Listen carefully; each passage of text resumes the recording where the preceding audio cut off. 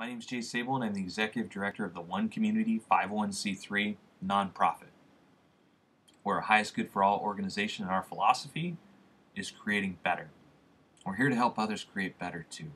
The way that we're doing that is through open source and free shared tools, tutorials, resources, blueprints, and do it yourself instructions for highest good approaches to food, energy, housing, education, for profit and non profit business creation, society, and true earth stewardship.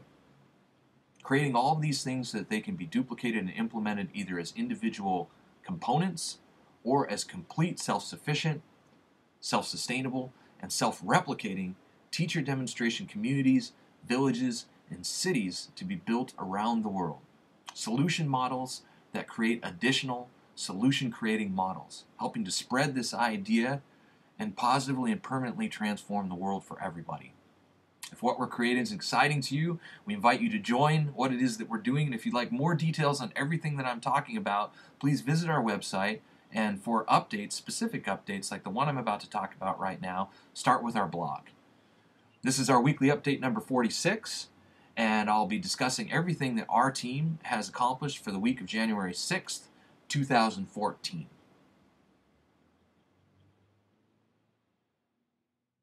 Highest Good Education, open source, free shared, globally accessible, globally collaborative, cooperative education designed for all ages, modifiable for any environment, created so it can be used in a home environment, so it can be used in a private schooling environment, so it can be used in a traditional schooling environment, so it can be used for a community uh, schooling environment, or it could just be used to enrich any educational program. In this last week, uh, we finished the social sciences molecule image research, so which is the complete subject of social sciences. We've researched hundreds and hundreds of images, uh, and we're going to be putting that together to cover the complete social sciences to look like this, like the math molecule, which is already done and then with descriptions of each one of these images so that you can look at the whole subject and know exactly what it encompasses and then be able to move in a non-linear path through that based on a child's individual preferences, strengths, and areas where they want to improve. And so now that we're done with that, we are also uh, now we've already begun work on the values um, image research, and we're 10% done with that as well, looking at the different values, human values, and creating a similar molecule to that. Also in education, we finished the relative space lesson plan, which is our second completed lesson plan. We have another 30 that have been outlined. If anybody would like to help create something like this and would like to be a part of, of doing the image research and creating this magic and brainstorming on all the details on how to teach every subject within the context of a central theme, and in this case it's relative space, uh, relative and dimensional space, um, to all ages. If you'd like to be a part of that, check it out. If you want to see the complete details, go to the webpage on this and take a look at this lesson plan. It's something that if you have kids, you can use right now to stimulate ideas and to bring a level of relevance to any subject and any kid's life studying that subject, saying, hey, this is why and how this information is applicable. Check it out within the context of this theme. So um, now that we're done with that, we're now working on the Matter lesson plan, which is already uh, outlined. 90% of it is outlined. We're going to finish the last 10% on that, and then we'll jump into all the image research. And with a little bit luck, we'll get that lesson plan done behind the scenes uh, this week, and then we'll get that up on the website next week. And uh, last but not least, we welcomed Randie Gottlieb to our education consulting team. Uh, Randie is the author of the book Teaching Unity and um, you can learn more about her on our website or just Google her book. The book is exactly what it says a host, an amazing wealth of information and team building exercises that support diversity and, um, and, and teaching unity. And so um, we're very excited to have uh, Randie on the team and to be able to use the information in her book and the wealth of knowledge that she has to make our open source and uh, free shared education program even better. Highest good food is food that is more nutritionally diverse. It's food that supports uh, continued biodiversity. It's food that's healthier, locally grown, that's duplicable, and that is really um, more more enjoyable, I would say, and definitely more diverse than anything that you can get in the grocery store right now. And we really want to transform the face of the way that people look at food and what people can grow and access for themselves, for people that, that want to be able to grow their own food, and then to be able to provide that to grocery stores, to restaurants, to provide it as a possible income stream for people that want to do that. And so we're developing all of this, and it also includes all the details of a food forest and um, animal husbandry and all these other details as well. So along that line, this last week, we completed the food forest page, which is hundreds of plants that we researched, uh, complete with details on cultural considerations, complete with uh, details on planting guidelines, complete with uh, descriptions and more links to more information, pictures, all of that stuff is done.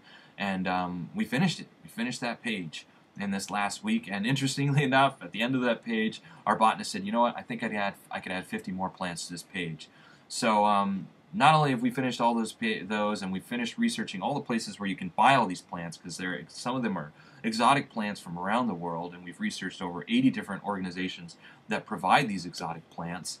Um, we've also realized that well, you know, we're going to add 50 more, and so um, it's a huge addition to all of our indoor growing infrastructure. So there's 300 plus plants. There's going to be over 350 plants for the outdoor growing infrastructure. We've also researched over 300 plants for the indoor growing infrastructure. Oh, plus there's the tropical atrium as well, which has another 50, 60 plants that were researched specifically for that. So you can see all that on the website. Um, and in on that note, so in this last week, you know, the, the housing structures can house all this in six different environments to grow all these different plants. Uh, we are now finished, we finished adding in all the rafts in the deep water culture for the aquapinis, which is aquaponics combined with a walipini. And um, we've added in some media bed details in there. And we've tested out three different waterfall options in 3D as well. Just trying to put in those final visual details and, um, and really complete this. And then we'll duplicate that and show the whole food infrastructure to you. And so teaching people how they can build infrastructure to feed hundreds of people.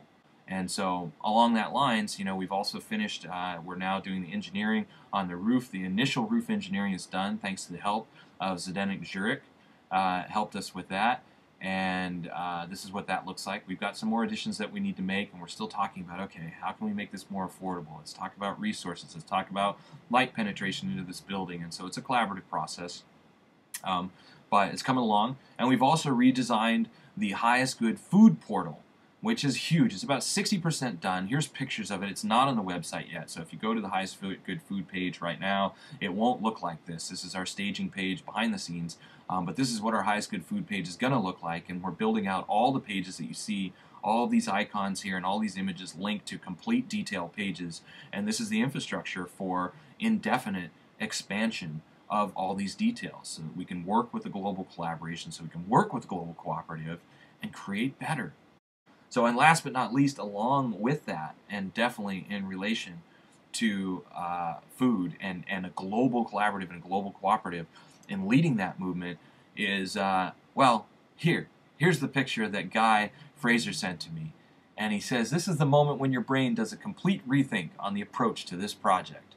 And that specifically is talking about the food application designs that we're working on right now, which will become like the a combination of Google and Wikipedia for food where people can add in uh, everything from recipes to uh, maintenance and care details and nutritional details and additional uses details and then access all the planting guidelines, all the details that are all currently on our website in a format that goes way beyond what we'll be doing to encompass literally the entire plant world in a uh, globally editable and and uh, enhanceable version where people can start adding into this information. We can create this central resource hub that people can go to, like a Wikipedia, but going very very deep just into the plant world.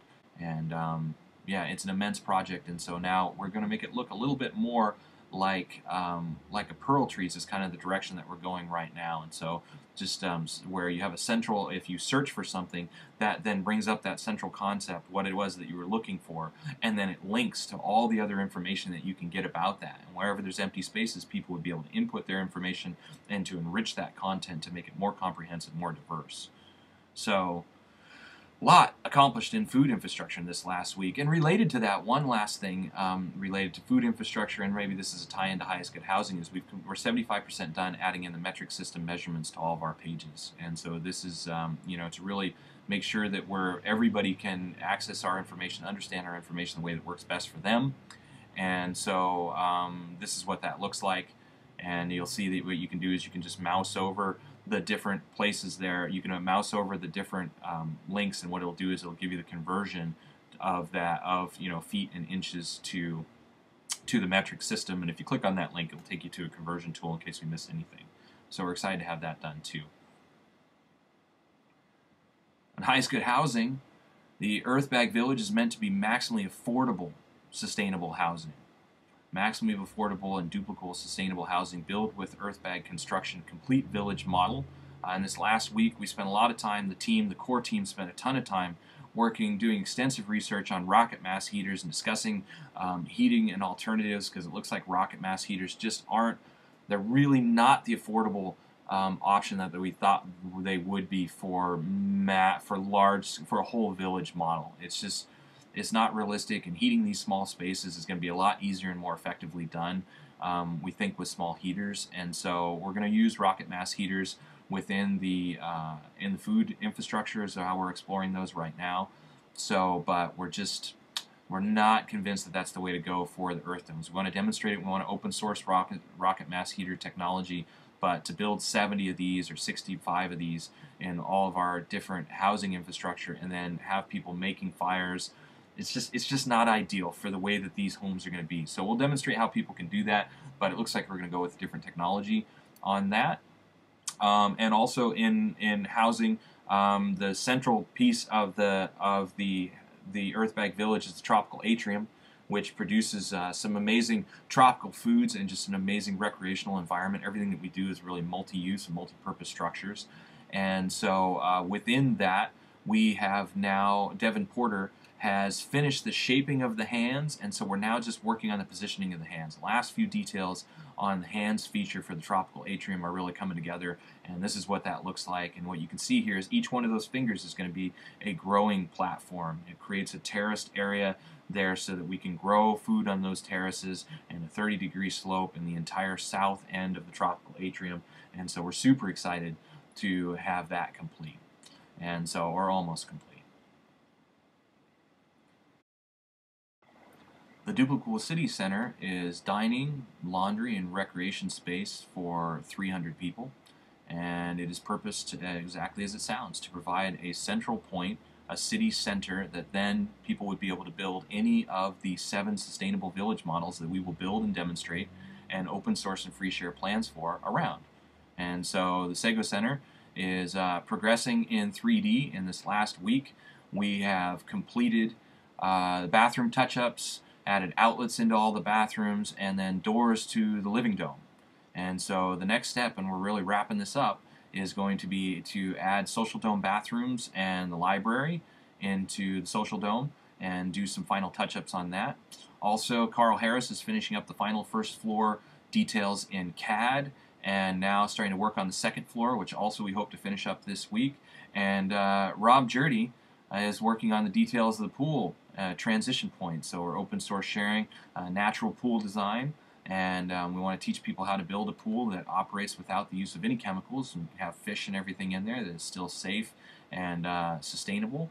And so we're excited to be really coming pretty close on that as well. And so um, we should be able to, we'll have some good details on that, hopefully some more updates on that next week.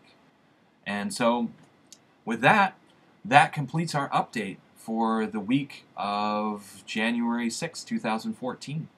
As always, if what we're doing is exciting to you, if what we're doing is something you'd like to be a part of, join our team. There's lots of different options for helping so that anybody can get involved in a way that works for you from internet participation to joining our team as a consultant, as a partner, partner to joining our team as a satellite member or as a pioneer member, the people that will move to the property and build everything that we described. And so take a look at that. And of course, uh, you're also uh, invited to join us on our social media networks. We are on pretty much all of them, and uh, you can check out what it is that we're doing through those. Subscribe to this channel, and um, by all means, uh, thank you for following our project. Thank you for the support that we get. And um, if you want more information on everything I talked about and easy uh, details on everything from this last week, go to our blog and check that out. Go to our blog, check that out, and you'll see uh, that you can link to all this information, all the open source content, everything that's being developed, and you can see all the details that I had URLs in this video for as well, and a whole lot more. And so with that, um, thanks for following our progress, and until next week.